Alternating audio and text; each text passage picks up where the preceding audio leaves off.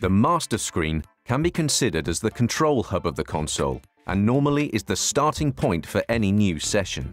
Touching the tabs across the top of the screen will reveal a drop-down list of further menus or open the control panel for that function.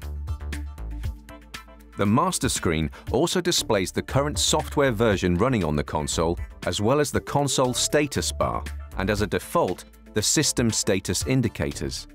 Both the status bar and the system status indicators position can be moved by touch or positioned on the SD9's overview screen by using the mouse. The system status indicators provide a quick visual status of the various onboard systems or connected racks.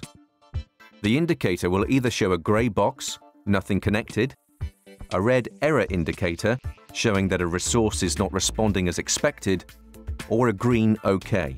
This signifies that the resource is operating as expected. It is worth noting that an error warning does not mean that something has failed, only that the console is not seeing what it is expecting.